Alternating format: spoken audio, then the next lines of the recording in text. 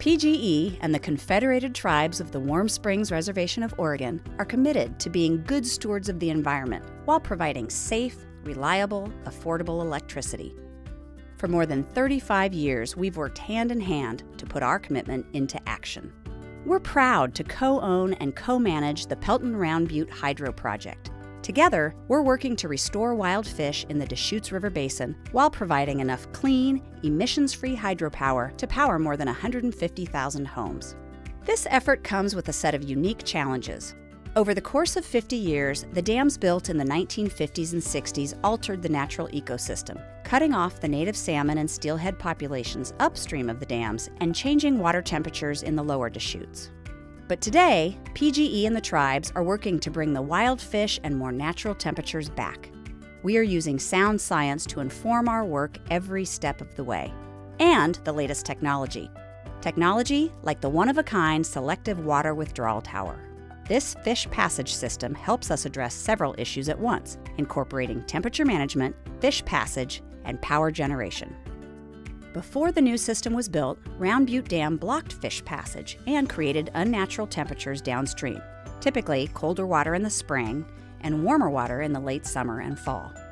Now we can collect the fish to safely transport them around the dam while mixing warmer surface water with deeper cold water, restoring both migration routes and seasonal temperatures to benefit fish. To ensure our work is based on the best data possible, we study and monitor sites throughout the watershed all year round. Through the Pelton Round Butte Fund, we also help local watershed, agriculture, and conservation groups improve and protect habitat, both in water and on land. We've supported 45 partner projects in the Deschutes Basin to date and are on track to award $27 million by 2020, contributing to efforts like the restoration of Camp Polk Meadow on Whychus Creek, helping to bring back better stream flows and a healthy, meandering creek for wild fish. Working closely with state and federal agencies, as well as nonprofit groups and local communities, we are invested in making collaborative decisions at every step that move us closer to long term success. Since 2010, we've safely transported hundreds of thousands of fish downstream to continue their journey to the ocean.